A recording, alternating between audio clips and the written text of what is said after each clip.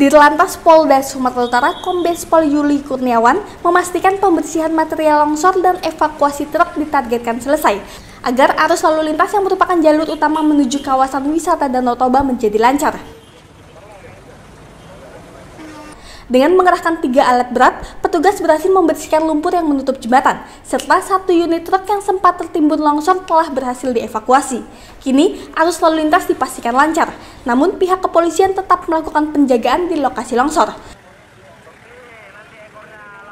Selain itu, dalam menghadapi arus mudik Natal dan Tahun Baru, di Telantas Polda Sumatera Utara telah menyiapkan jalur alternatif melalui Simpang Palang Sitahuan. Kami dari Polda berkesempatan untuk ke tempat ini untuk meninjau karena menyangkut masalah lokasi ini adalah lokasi yang akan digunakan nanti untuk masyarakat untuk berwisata terutama pada saat liburan Natal dan Tahun Baru sehingga perlu kita cek apa yang perlu kita siapkan nanti di sini pada saat nanti pelaksanaan liburan nanti. Lalu sejauh hasil evakuasinya bagaimana? Eh, seperti yang dilihat, ini kan sudah ada satu jalur yang sudah bisa kita lewati walaupun nanti kita masih buka tutup sistemnya. Kita upayakan hari ini kalau bisa dua jalur ini bisa kita gunakan.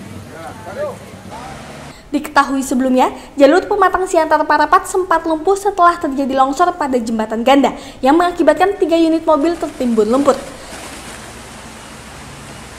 Dari Simalungun, Sumatera Utara, Erik Ginting, Tribrata TV, Salam Tribrata.